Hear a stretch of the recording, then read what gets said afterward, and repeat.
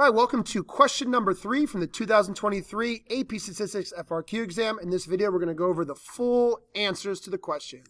All right, here it was. Bath fizzies are mineral tablets that dissolve and create bubbles when added to bath water.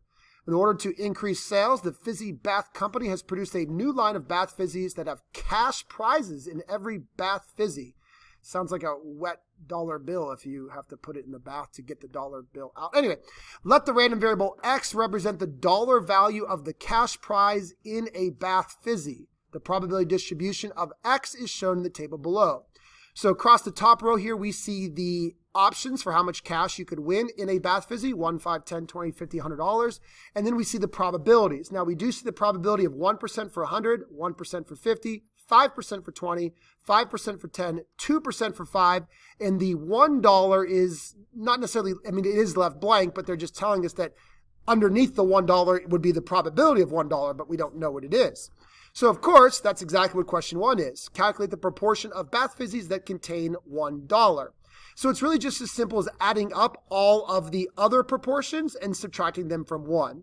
So technically, if I'm trying to show all my work here, the probability that the um, the random variable x is equal to 1 would be 1 minus everything greater than 1. So I'm literally going to combine the 20%, 5%, 5%, 1%, 1% for everything that is greater than 1. And then, of course, I have to do 1 minus that. So adding up everything that's there, you get 0.32. 1 minus 0.3 is 1 minus 0.32 is 0.68. So you got about a 68% chance of getting a $1 prize in your Bath Fizzy.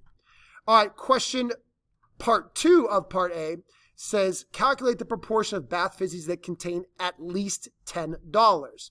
So at least 10 means 10 or greater. So I first wrote that out using proper notation, the probability that the random variable x is greater than or equal to $10. And then I literally went and added up the proportions for 10, 20, 50, and 100. That is 0.05, 0.05, 0.01, 0.01, which is 0.12, 12%. So you got about 12% chance of winning at least $10 in your Bath Fizzy. So a couple pretty easy probability questions there. Just doing some quick math. Probably don't even need a calculator for these problems if you're if you're pretty good in your head. All right, the next question said based on the probability distribution of X, calculate the probability that a randomly selected Bath Fizzy contains $100 given that it contains at least 10.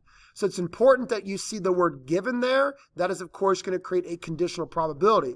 If the question just stopped at the probability that a randomly selected bath fizzy contains $100, that would be easy. 0.01, 1%. Just go back and look at the table. But we have a conditional probability here. So we first start off by writing that out. So we're looking at the probability that we have $100 in our bath fizzy on the condition. That's what that we see that line there. And the condition is that the amount in the bath fizzy is at least 10, greater than or equal to 10, which is great news because we've already calculated that probability in the previous question. All right, so using your conditional probability formula, in the numerator is both, both values, right? Both things, the probability of what we're looking for and the condition. So this is the probability that a bath fizzy contains $100 and is greater than or equal to 10. Now, if you think about it, that those are not the same thing, but the 10, the $100 is greater than or equal to 10. So $100 and greater than equal to 10 are like one and the same because 100 is greater than equal to 10. Does that make sense? So the numerator, both, is the probability that you're greater than or equal to 10 and 100, but that's just the same as the probability that you are $100. That's 0.01. That, I guess you could say, is the overlap, right? So if I go back to my chart here and I say, okay, I'm going to highlight everything that is greater than or equal to 10. And then the overlap, that's also 100, would be right here. And I just made it black. But um, you get the point. It, it would be the 0.01. That is the overlap. So $100 and greater than equal to 10 is 0.01.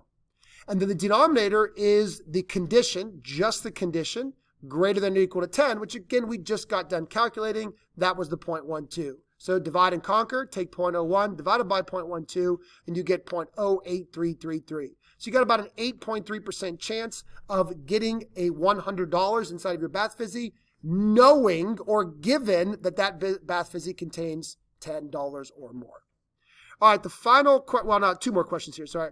So uh, question C, based on the probability distribution of X, calculate and interpret the expected value of the distribution of the cash prize in the Bath Fizzies.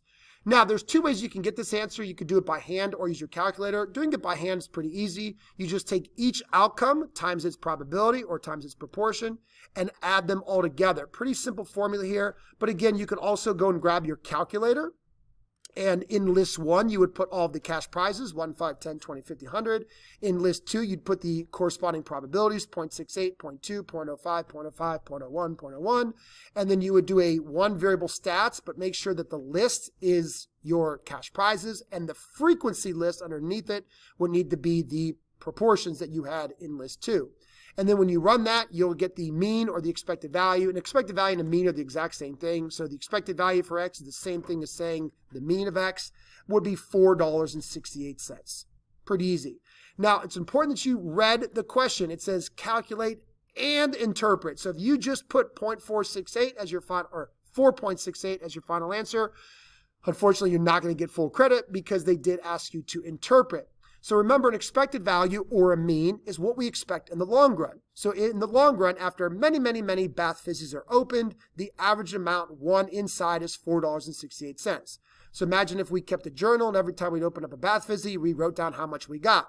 We'd probably see a lot of ones in that bath journal, occasional five here and there, maybe a 10 or 20 will pop up, and very, very, very rarely, well, not say very rarely, but you would not have nearly as many 50s and 100s. But if you did that for many, many, many, many bath fizzies, in the long run, the average amount of money that you would win from your bath fizzies would be $4.68. Again, another way of looking at this is if someone was about to open up a bath fizzy, there's a bath fizzy right in front of them, and you say, okay, I expect you to win $4.68. Now, of course, that's not even an option for how much you can win, but it's an average in the long run. So make sure that you interpret that value as well. All right. Now, I was all prepared for question D to be super hard, but it was unbelievably easy. The Fizzy Bath Company would like to sell the bath fizzies in France, where the currency is in euros. Suppose that the conversion rate for dollars to euros is $1 equals 0.89 euros. Using your expected value from part C, calculate the expected value in euros of the distribution of cash prizes in the bath fizzies. Show your work. So here we simply have to convert our expected value from dollars in the United States to euros in France. All we have to do is multiply by the conversion factor. So if you've taken chemistry, you're hopefully pretty good at conversion factors, but they even give you the conversion factor. They don't expect you to know it. $1 equals 0.89 euros. So we are simply taking the $4.68. We're multiplying it by 0.89 euros over $1. Don't divide it. Again, remember, we want to multiply it by 0.89 over 1 because we want the, the dollars to cancel out. So that's why we want that you know four dollars and sixty eight cents is in dollars. We want that one dollar in the bottom. That way it cancels out, and we're left with the euros. So all you have to do is multiply by 0.89, and if you multiply, you do get you know four decimals there, 4.1652. But you know rounding that to a dollars and cents, be 4.17 euros. Actually, I should take that dollar sign off there and write euros. I don't know what the official sign for a euro is. Um, but maybe there isn't one. I don't know. Maybe they just say euros. But anyway, that's it. That's how easy it was. Just literally multiplying it to convert it over to euros. So in euros, you would expect to win in the long run 4.17 euros as opposed to 4.68 US dollars. All right, that's it. I think that was actually one of the easier probability questions I've seen on an AP FRQ before. Overall, not too bad. Hopefully you guys did well on it. All right, see you in the next video.